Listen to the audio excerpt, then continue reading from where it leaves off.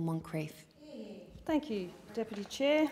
Firstly, and importantly, I give my thanks and pay respects to our uh, Ngunnawal elders, past, present and emerging, for our future. I also give thanks and pay respects to our Yugambeh people, uh, who are the traditional owners of the land in our electorate uh, of Moncrieff on the Gold Coast. Uh, I honour all Aboriginal and Torres Strait Islander people here in this parliament and right across our great country.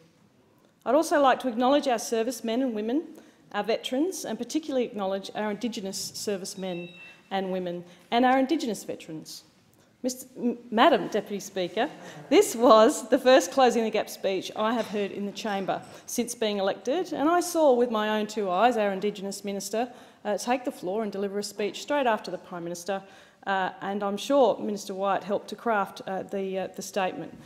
I share the frustration and indeed disappointment with what is a national truth and a national shame that today our Aboriginal and Torres Strait Islander children do not have the same opportunities as all other Australian children.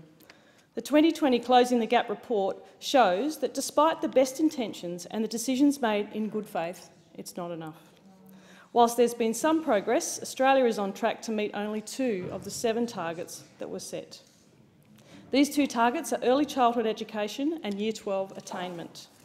Sadly, the four COAG targets that expired in 2018 have not been met child mortality, school attendance, literacy and numeracy, and employment.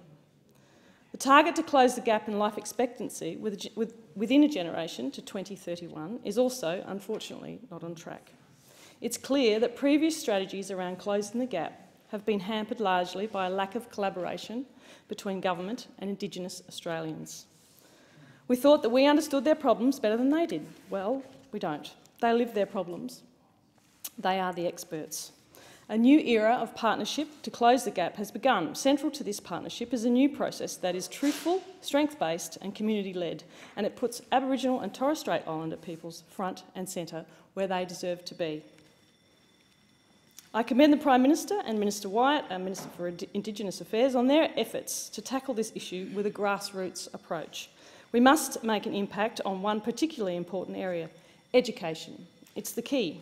As the Prime Minister said, and I wholeheartedly agree, if you get education right, skills, jobs, security, health, prosperity and longevity will all follow.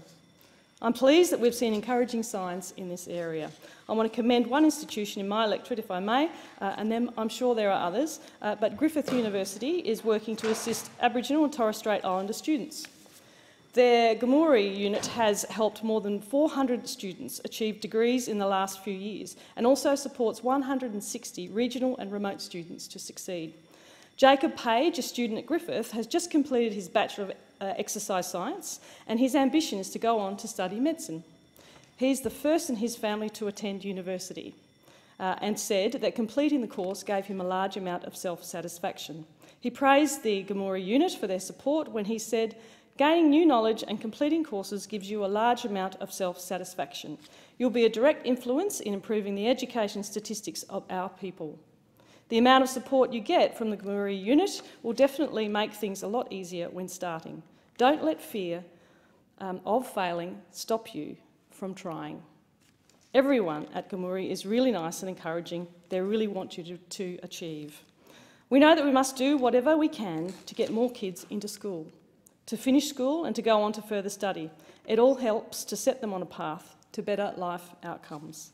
Education leads to a job, and a job represents a future full of choice. As a Member of Parliament, I represent my community, and that includes Indigenous Gold Coasters. It's why I joined the Backbench Committee for Indigenous Affairs, so I can learn more about the issues that face the Aboriginal community and the challenges we have as a government in this next chapter of closing the gap. The Gold Coast has a rich Indigenous history, Aboriginal tribes inhabited the region for over 23,000 years before European settlement, and so numerous sacred sites remain. It's important that we understand the history, traditions and culture of Aboriginal and Torres Strait Islander peoples. The Bora Memorial Rock can be found in the Jebribillum, Bora Park, Ringside, beside the Gold Coast Highway in my own suburb of Miami. Thousands of people pass it every day without realising its significance. The rock is dedicated to the Indigenous men and women from the Gold Coast region who served in Australian war conflicts from 1914 to 1991. The memorial was made in 1991 with a rock from Tamborine Mountain and has totemic symbols of an eagle, the protector, a snake, a dolphin, and circles representing water coming together. It was once the site where young Aboriginals were initiated into their tribe with special ceremonies. I recently enjoyed listening to the youth choir sing the national anthem in their traditional language at a memorial service for Indigenous diggers. The Jellurgal Aboriginal Centre is located at the bottom of Burleigh's headland and borders my electorate. Here, Aboriginal artists create traditional artwork. You can go along and browse the paintings for sale and see Aboriginal artefacts such as dilly bags, shields, and other tools and instruments that were once part of everyday life. Burleigh Heads National Park is an important and, and, sacred Indigenous place that, to this day, offers an amazing insight into the world of the Kombumerri people, including many Dreamtime stories about how Burleigh Hill and Tallebudgera, or Goodfish Creek, came to be. I know that I have many constituents who regularly enjoy this beautiful place, including my own family. Now, you may, you may have been one of the millions of uh, people who were mesmerised by the incredible Indigenous performance of the 2018 Commonwealth Games opening ceremony. Uh, Luther Cora, and a constituent from Nerang, was the director of the gathering performance. He's known on the Gold Coast for his storytelling and for his commitment to share the culture of the Yugambeh people. Borobi, Jingari, who was the big blue koala mascot of the Commonwealth Games, also calls the Gold Coast home. His legacy lives on beyond the Games as the champion of the local Yugambeh language. Borobi's full-time job now is to share his extensive knowledge of Indigenous language and culture with primary schools around southeast Queensland. Madam Deputy Speaker, sadly, in recent years, Indigenous youth suicide has taken too many young lives. Indigenous youth are almost four times more likely than their non-Indigenous peers to take their own lives.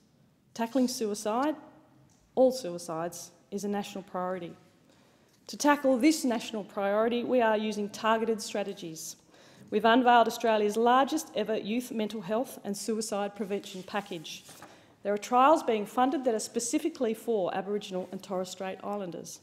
In the last budget, we committed $4.5 million for Indigenous leaders to create their Aboriginal and Torres Strait Islander suicide prevention plan.